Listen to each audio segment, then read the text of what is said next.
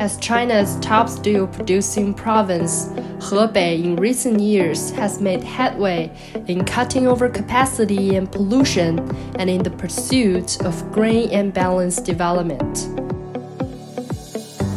The province's steel production capacity has been reduced from 320 million tons at its peak to less than 200 million tons, while the development of strategic emerging industries and modern service industries is accelerating.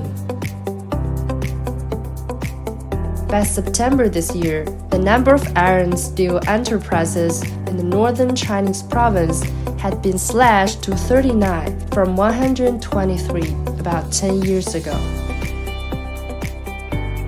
In 2022, Hebei province has invested about 100 billion yuan in new energy power generation, aiming for adding an installed capacity of more than 8 million kilowatts.